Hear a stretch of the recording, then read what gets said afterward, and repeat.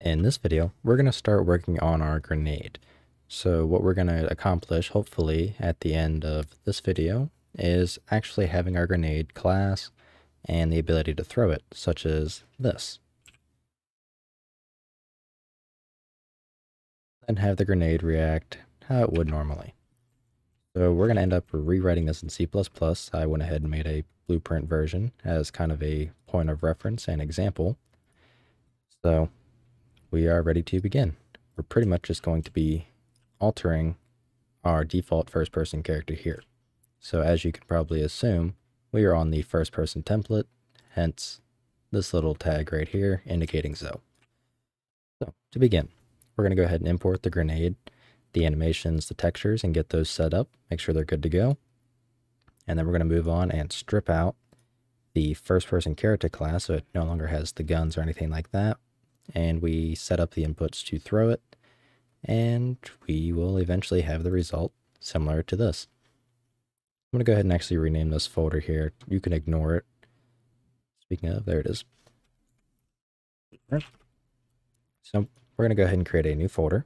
Let's call it grenade. I'm not sure why you're...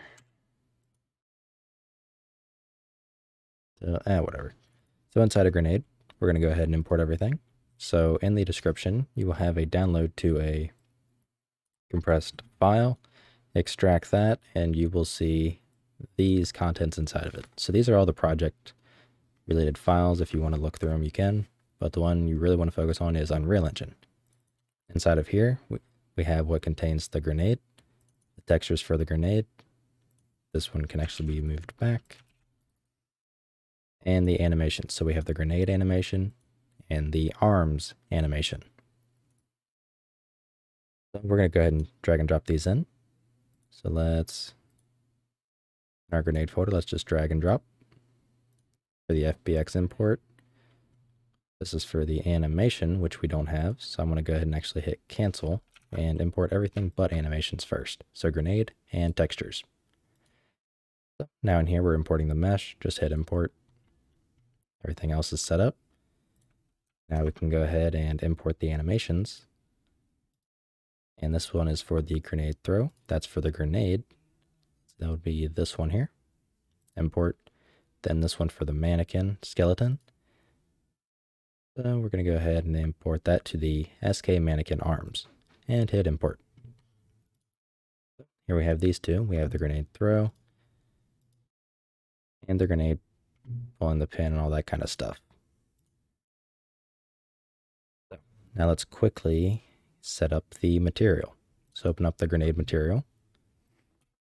We can delete the white parameter there. We don't want it to be white. And we're going to drag this into a smaller window. Go to our textures. And why is the animations inside of the textures? I'm going to drag that back out to the root. There we go. So inside the textures, we have the albedo, mix map, and normal. We're going to open up the mix map, uncheck sRGB, then drag and drop these three textures right into our material editor. So we're going to organize them as the albedo, normal map, then the mix map, and connect them up. So for the albedo, we're going to connect RGB to base color.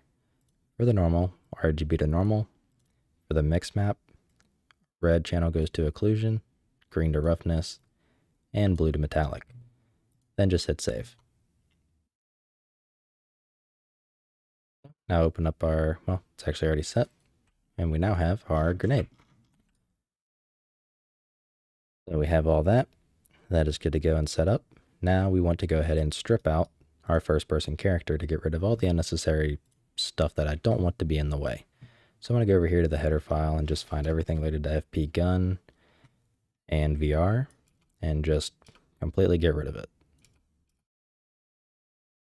There's that. Gun offset, projectile class, fire sound, motion controllers. On fire and on reset VR. Our touch data. And enable touchscreen movement. And I think that's pretty much everything. So now over here in our grenade tutorial character, we're going to have to make the same changes. So we delete everything we pretty much got rid of. Oops. Just clean it out. Everything in begin play, that can all be ignored. No longer have fire or reset VR. Don't have the on fire function. Don't have any of these. And we don't have enable touchscreen movement. Okay, we are pretty much good to go. Go ahead and just remove the includes as well. And I think that's pretty much everything there. Okay, so I'm going to go ahead and right click and build the project. Close down the editor, make sure there's no problems, make sure you save. And we will go from there. I'll see you when we, I'm going to go ahead and relaunch the project. And I'll see you here in a second. Alrighty, back inside of the editor here, we have our new character. So I'm going to go ahead and delete this old one and go to first person CPP and open up that blueprint. I'm going to go ahead and this is from previous what I was doing for testing, so I'm going to delete that. And we have our basic character here. Nothing related to the gun or anything. Now, the only difference that you'll have is I already disconnected this. Let me just reconnect it back up. You can ignore what I just did. And it, you will be pretty much met with something that looks exactly like this. So I hit play. Everything's the same. We're just playing the same animations, and all that kind of stuff. So we're good. Now what we can do is we can uh, go ahead and actually create our grenade class that we're going to use. We're going to need to set it up so we play an animation and we need to have a skeletal mesh on it. So we're going to have two, well, one component for the skeletal mesh. That's going to be our root component. And then we're just going to simply have a animation. So it's a U animation asset, I believe. So we're going to come over here to C++ classes, open up the grenade tutorial folder or whatever yours is called. Right click, new C++ class, actor. I want to call it grenade. Now I'm going to go and put this in its own folder just for keeping it somewhat organized. So I'm going to do forward slash grenade. So this will be the path and hit create class. That's just so it doesn't appear in this list right here. So Now we give that a second and it should appear over in either Visual Studio or Rider IDE like I'm using. And we now have our class. Let's go ahead and open that up. Their .cpp in our header. I'm going to go ahead and delete the tick function because that's not going to be used.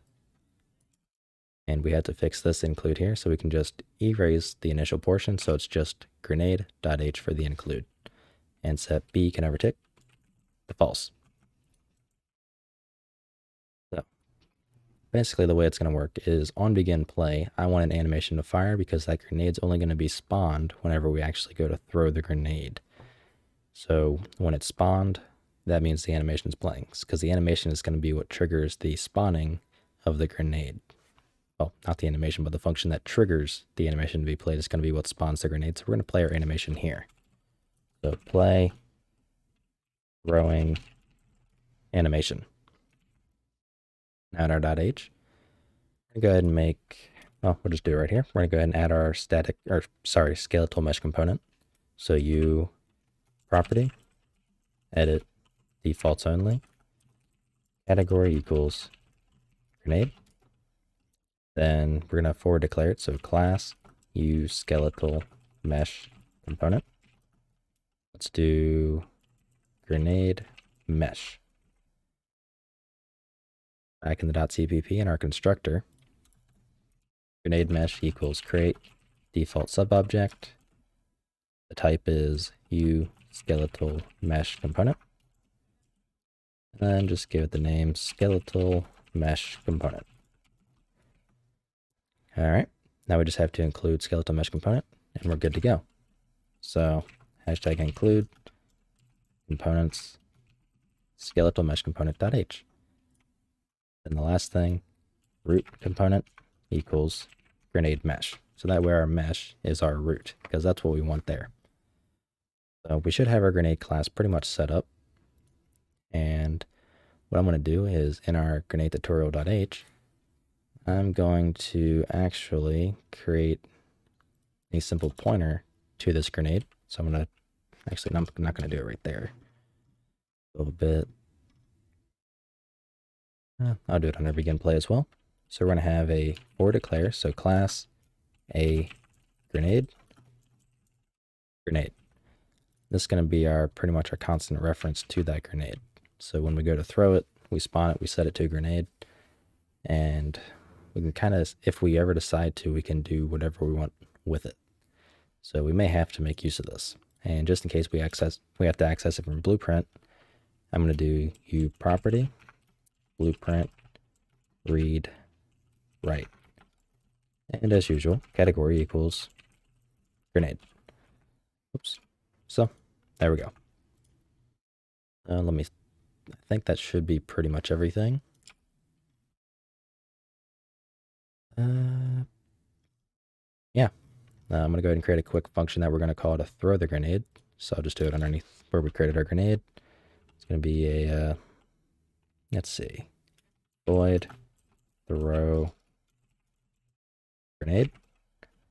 Create the implementation. Move that down below our setup uh, player input component. And in here, we just spawn it and we throw it. So in order to spawn it, we want to have access to the grenade class. So u property or edit, we'll just do edit defaults only. Category equals grenade. Then we're going to do e subclass of or declare class a grenade grenade class. And that's all we have to do there. So inside of the throw grenade, we're just going to do if grenade class. We want to spawn this class. So grenade equals get world spawn actor. Type is going to be a grenade. And then the class is going to be grenade class. And then we're going to end up attaching it. So now that we're making use of the a grenade class, we want to go ahead and include it. So up here, do include. So that would be grenade, grenade.h. We spawned our grenade. Now we want to go ahead and make sure, just to be safe, that it is valid. So if grenade, it, it should be. We're going to attach it to our first person mesh. So grenade, attached to component the component we want to attach to is our mesh. So we're in a first person, so we want to do our mesh 1p for first person. And the next parameter is f attachment transform rules. We want to snap to target, including scale, or not including scale. In our case, it doesn't matter. Then the next should be the socket. So f name uh, hand underscore r for the right hand. And that should be it. So I'm going to go ahead and compile and just make sure everything is okay for right now. So that means I'm going to restart my editor and see what happens. Because we got to go ahead and set up our grenade class as well, set up the mesh and all that kind of stuff.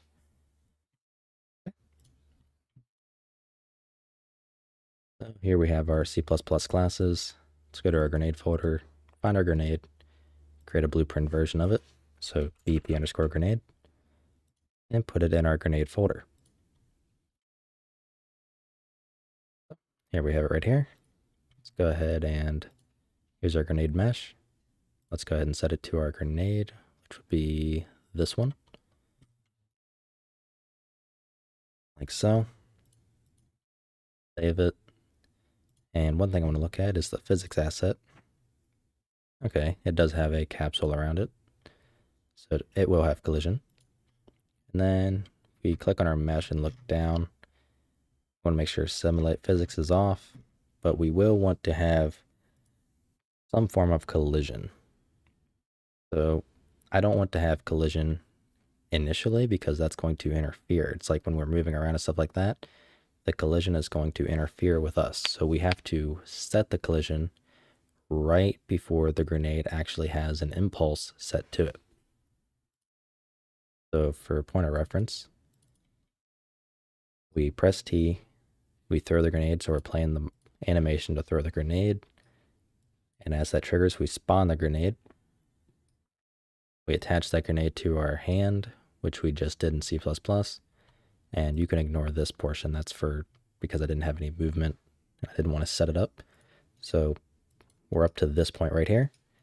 And what we're going to do is in our animation on our hands, we trigger a we triggered a blueprint event to fire. So this blueprint event here, what it did was we got the grenade mesh, we detached it from ourselves, so from our hands, or sorry, we did that from the grenade. Then we got our skeletal mesh, we enabled physics on it, we set the linear velocity to zero so that way our animation didn't have any influence on the direction or anything like that. And then we added an impulse based upon the direction we're looking. So wherever we look, that's the direction we want the impulse to go. So we're shooting it straight out in the dead center of where we are looking. So yeah, this video is getting a little long, so I'm just going to do something small to wrap it up here. Uh, one thing I, I want to change is I want to go ahead and get rid of this stupid little crosshair that's not even centered in the screen. That's one thing that really bugs me about this little template. So we're just going to go over here to game mode.cpp. Here's our HUD class. Just comment it out and simply recompile. And that should, it should get rid of that. So yeah, now it's gone. So we don't have the little distractor there because a lot of people, uh, I know people have a tendency of when I do my aiming animations and stuff like that, while it is centered right in the middle of the screen, it looks like it's off center because that crosshair that the first person template comes with is not actually centered. So that was just a just a quick little point out. Go ahead and delete the grenade assets folder. So if you ever have a folder that doesn't delete like this when we tried to, you can come over here to your project, go to content, find that folder and delete it from here. And then whenever you reload the project up, it should actually be gone. So anyways, I'm gonna go ahead and stop this video for now. This is gonna be part one. And in part two, we're gonna actually trigger the animations. And then part three, I think that's when we're to go ahead and add the impulse and throw it. So that way the videos aren't too long. So anyways, uh, yeah, I will see you in the next one on that. And if you want to help support me, I do have a Team Deathmatch series that I release for Patreon members only. You can find the link to that in my description. And if you don't care about that, but you do feel like supporting me anyways, you can just subscribe to any tier that is listed there. If you have any questions or anything like that to any of my videos, you can also find my Discord, and if you join that, uh, feel free to ask away, and I will try to answer any questions you have. So, I'll see you in the next video.